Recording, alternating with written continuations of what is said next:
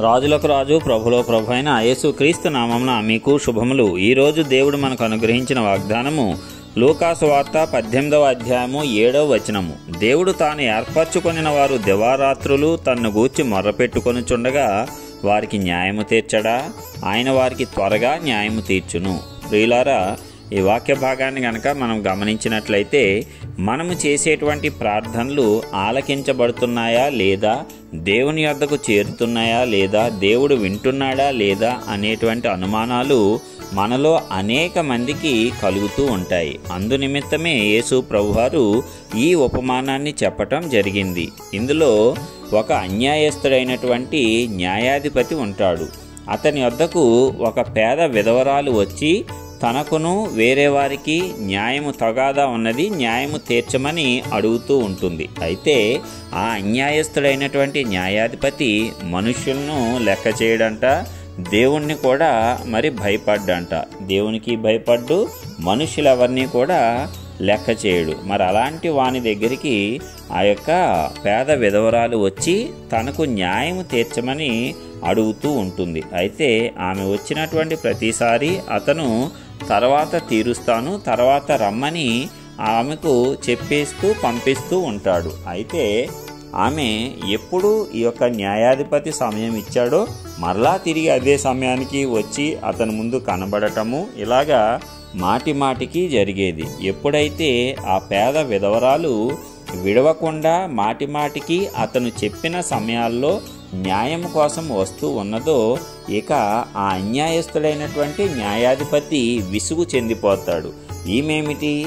నేను ఎంత కఠినుని అని తెలిసినా సరే మాటిమాటికి వచ్చి నన్ను ఇబ్బంది పెట్టేస్తుంది తొందర చేస్తుంది అని అనుకొని త్వరగా ఈమెకు న్యాయం తీర్చాలి అని తన యొక్క మనస్సులో నిశ్చయించుకుంటాడు.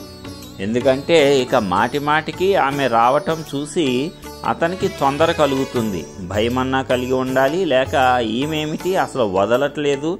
తొందరగా ఒక న్యాయం తీర్చివేసి ఈమెను పంపించేస్తే నాకు గొడవ వదిలిపోద్ది అనేటువంటి అభిప్రాయమైనా సరే అతనికి వచ్చి ఉండాలి. ఏదేమైతేనేమి అతడు అంత కఠినుడైనా సరే అతని యొక్క మనస్సును ఈ పేద విధవరాలు మార్చగలిగింది. ఎందుకు? మాటి మాటికి దర్శించుట ద్వారా మాటి మాటికి వచ్చి గోజాడుకొంట ద్వారా ఆ విధవరాలు అంతటి కఠినాత్ముడైనటువంటి న్యాయాధిపతి యొక్క మనస్సును కూడా మార్చగలిగింది. మరి ప్రియులారా మన దేవుడు అన్యాయస్తుడు కాదు. న్యాయమైనటువంటి తీర్పులు తీర్చేవాడు న్యాయాన్ని అనుసరించి జీవించేవాడు. ఆయన సింహాసనమే న్యాయం వల్ల నిర్మితమైనటువంటి సింహాసనము. మరి అలాంటి దేవుడు మనము దివారాత్రము ఆయనకు మొర్రపెట్టుకుంటూ ఉంటే వినకుండా ఉంటాడా? చెవులు మూసుకొని ఉంటాడా? ప్రార్థనలకు జవాబులు ఇవ్వకుండా ఉంటాడా?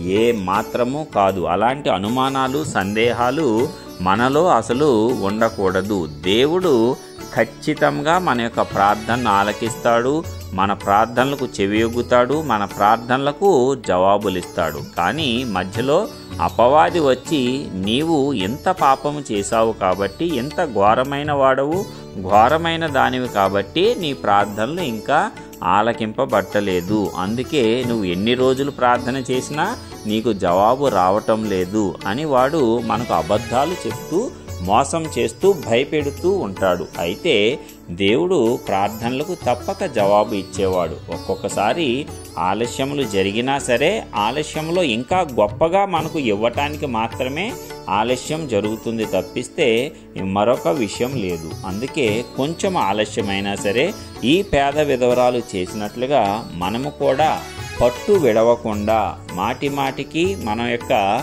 ఏ అవసరత గురించి ప్రార్థన చేస్తున్నామో దానిని కొనసాగిస్తూ దేవుడు ఆ ప్రార్థనను పంపించి మన యొక్క సమస్యను తీర్చే వరకు కూడా మనము గోజాడుతూనే ఉండాలి మొర్ర పెడుతూనే ఉండాలి ప్రార్థిస్తూనే ఉండాలి. దేవుడు మన ప్రార్థనలు చూసి చలించిపోయేటువంటి దేవుడు. మన యొక్క కన్నీళ్ళను చూస్తే ఆయన యొక్క కనికరము ఎంతో గొప్పగా మన మీదకు వస్తుంది. కాబట్టి ఆయన మనల్ని అన్యాయంగా ఏమాత్రము విడవడు. మనలో ఒకవేళ కొన్ని దోషములు ఉన్నా సరే వాటిని పరిహరించి మనల్ని శుద్ధీకరించి మనం అడిగిన వాటినన్నిటినీ అనుగ్రహించేటువంటి గొప్ప దేవుడు మనకు ఉన్నాడు. కాబట్టి అన్యాయస్తుడైనటువంటి న్యాయాధిపతే మాటి మాటికి అడిగినప్పుడు ఇవ్వగలిగితే మరి న్యాయవంతుడైనటువంటి దేవుడు తప్పనిసరిగా మనకు అనుగ్రహిస్తాడు అనేటువంటి నిశ్చయత మనలో కలగటానికి ఈ యొక్క ఉపమానాన్ని స్వయంగా